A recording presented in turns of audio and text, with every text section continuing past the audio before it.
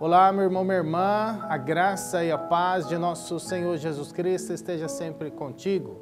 Que alegria estarmos juntos mais uma vez para o nosso programa diário Palavra de Deus Meditada, programa onde a Palavra de Deus toca o nosso coração. Antes de irmos para a nossa meditação, vamos pedir a intercessão da Virgem Maria, ela que é mãe de Deus e nossa mãe, para que nos alcance junto a seu Filho Jesus a graça de termos um coração aberto e acolhedor a esta palavra que será proclamada Rezemos juntos. Ave Maria, cheia de graça, o Senhor é convosco. Bendita sois vós entre as mulheres, e bendito é o fruto do vosso ventre, Jesus. Santa Maria, Mãe de Deus, rogai por nós, pecadores, agora e na hora de nossa morte. Amém. Caríssimo irmão, caríssima irmã, que alegria estarmos juntos mais uma vez para meditarmos a palavra do Senhor. Quero te convidar a pegar a sua Bíblia, Lá no livro da Primeira Reis, Primeira Reis, capítulo 21, versículos de 11 até o versículo 16. Primeira Reis, capítulo 21, versículos de 11 a 16.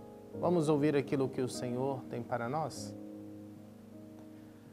Os homens da cidade, os anciãos e os notáveis, concidadãos de Nabote, fizeram o que ordenava Jezabel, segundo o conteúdo da carta que lhes tinha mandado.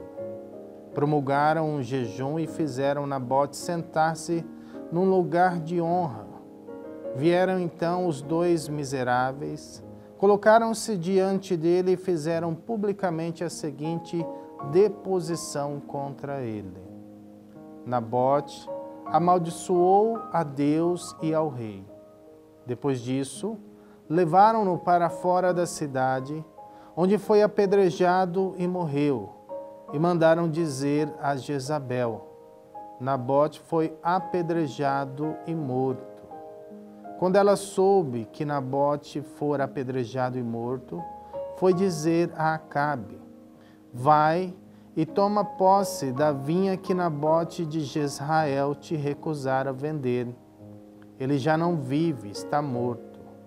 Acabe tendo ouvido dizer que Nabote morrera, levantou-se e dirigiu-se para sua vinha, para tomar posse dela. Palavra do Senhor, graças a Deus.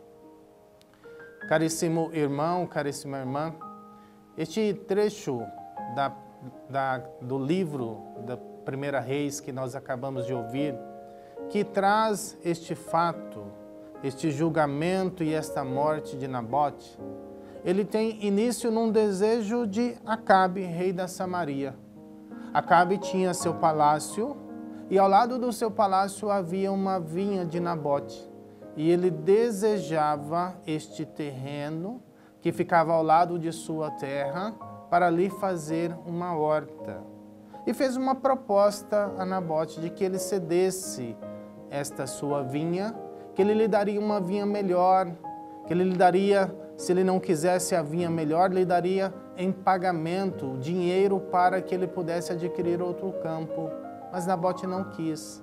E então, sabendo disso, Jezrael, uma mulher que era uma mulher estrangeira, mas casada com este rei, este rei Acabe, ela então trama toda essa situação para fazer morrer, fazer morrer aquele que não aceitou vender a vinha, Nabote de Jezrael.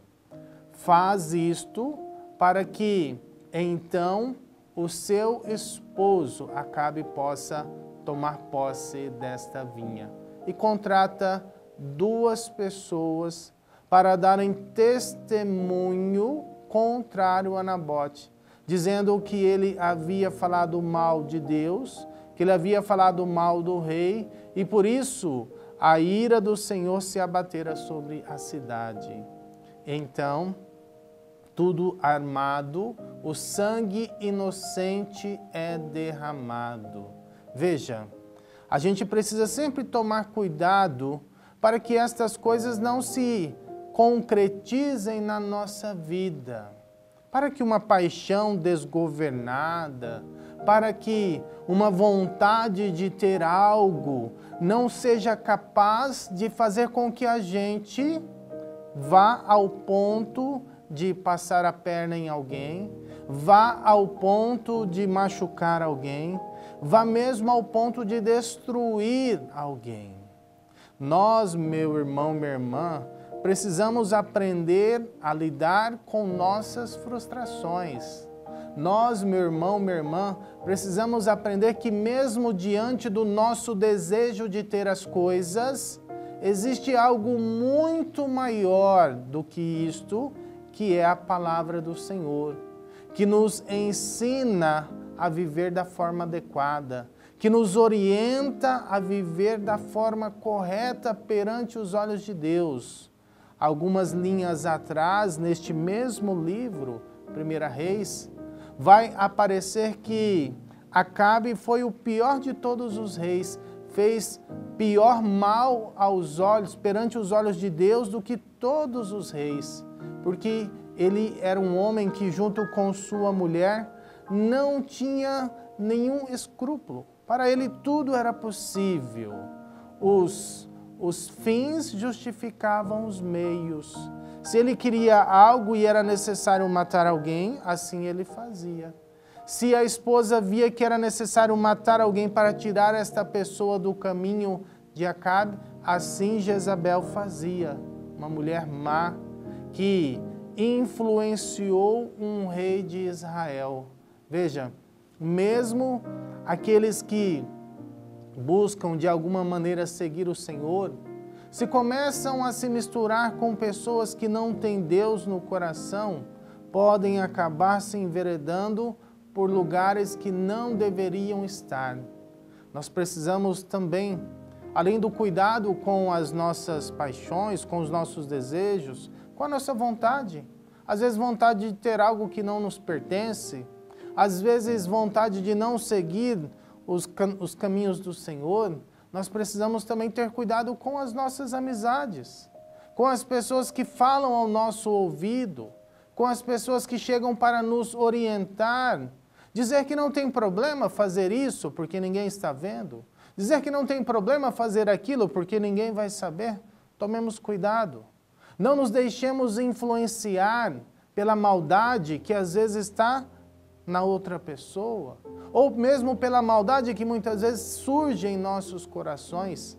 Sejamos capazes de arrancar de uma vez por todas de nossas vidas todo sintoma de maldade, seja aquilo que brota no teu coração, seja aquilo que está na palavra do teu pseudo amigo. O que deve ficar em nossa vida é sempre a palavra de Deus. O que deve ficar em nossa vida é sempre o ensinamento do Senhor. Por isso, no dia de hoje, nós queremos também pedir ao nosso bom Deus que nos conceda a graça da sua bênção e nos livre de todas as ciladas do inimigo. O Senhor esteja convosco, Ele está no meio de nós. Abençoe-vos, Deus Todo-Poderoso, Pai, Filho e Espírito Santo. Amém. Louvado seja nosso Senhor Jesus Cristo, para sempre seja louvado.